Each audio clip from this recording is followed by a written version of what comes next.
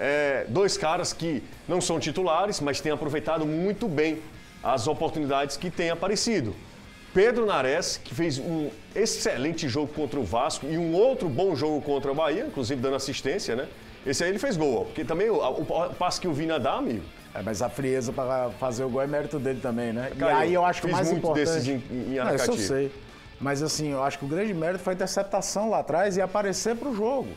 É, era uma, três minutos de jogo, você já entender que tem que ser agressivo quando pode e atacar o espaço vazio. E depois ele dá o passe, Ele retribui, devolve, né? né? Retribui a gentileza, dá um passe pro, pro gol do Vina. E eu falei isso na, na segunda-feira. Esse gol bonito, talvez especifique o- as melhores características do Ceará, que é tentar roubar a bola no campo do adversário e em poucos toques deixar alguém em posição de definição. E é legal falar isso, aí a gente já tá vendo as jogadas do Saulo. Era o né? outro cara que eu iria falar. O cara tem entrado muito bem e, e feito gols, né?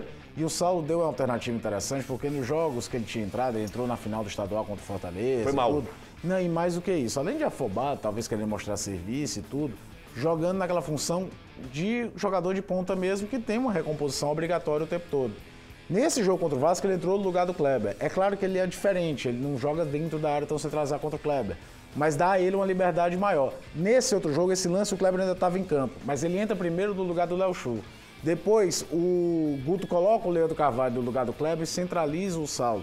Que te dá uma opção de nove diferente do que a do Kleber e do que será do Viseu quando tiver em Também, opção. é. Agora, se vão se firmar como titular ou não, são outros 500. Agora, é importante, quando a gente olha que o elenco não é tão numeroso, que jogadores que foram contratados e bastante contestados. O Saulo Mineiro, então, na época que foi contratado, eu falei aqui, eu torço muito que esse tipo de contratação dê certo, que é a contratação de observação, que normalmente é feita por análise de desempenho, que não é uma coisa aleatória, que é mais estudada e mais difícil de acertar.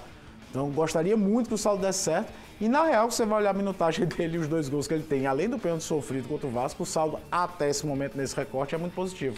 Danilão, é o seguinte, o que o Caio falou, o técnico Guto vai encontrando opções dentro do elenco e sem a necessidade de você ir ao mercado para contratar. Porque o torcedor cearense ele é tarado por contratação. Aliás, o torcedor, de uma maneira geral, só fala de, de contratação, contratar, contratar. E o Ceará está encontrando do elenco que tem, que não é um elenco é, é, robusto, não tem muitas opções, mas dentro do próprio elenco esses jogadores estão se reinventando e entrando no bom momento. E eu li- eh, falo também sobre Lima, daqui a pouco a gente vai falar, que era um jogador que estava ali, a gente criticava e tal, está começando a voltar a jogar bem. Saulo Mineiro vai no mesmo embalo, Pedro Nares também.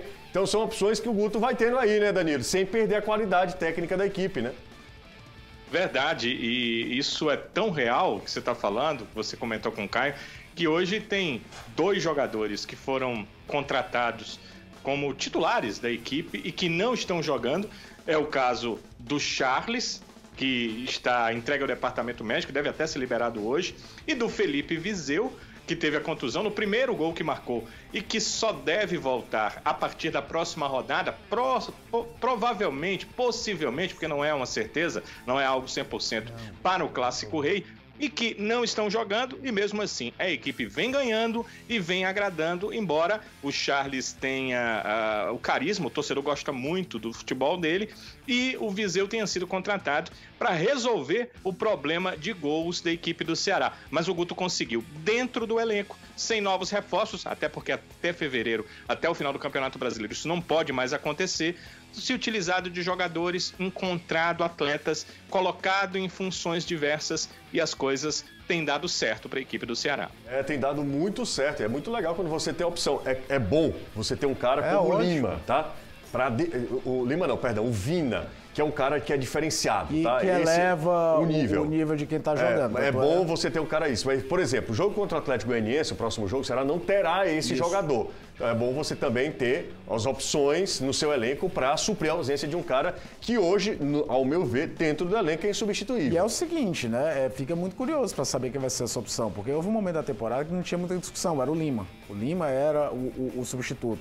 Das últimas vezes que o Vina não pôde jogar, quem atuou foi o Felipe Bachola, que depois também meio que sumiu. É bem verdade que tem uma coisa sobre o trabalho do Guto Ferreira. Às vezes a gente acha que o cara está totalmente fora da opção e ele reaparece. Isso já aconteceu com o Matheus Gonçalves, já aconteceu com o Felipe Bachola, já aconteceu com o Wesley, que voltou a entrar no jogo passado. O próprio Pedro Nares, depois dos primeiros jogos, ele joga contra o Fluminense, joga contra o Grêmio e meio que dá uma sumida e às vezes o cara reaparece. Pode ser detectado um recondicionamento físico, enfim. Mas a, a função tática do, do Vina é muito importante, até porque o Ceará muitas vezes ataca ele aparecendo como uma espécie de segundo atacante, vindo por trás como a questão técnica propriamente dita mesmo. É o cara que vem elevando o nível dos caras que jogam ao redor dele. Então é uma dor de cabeça para esse jogo.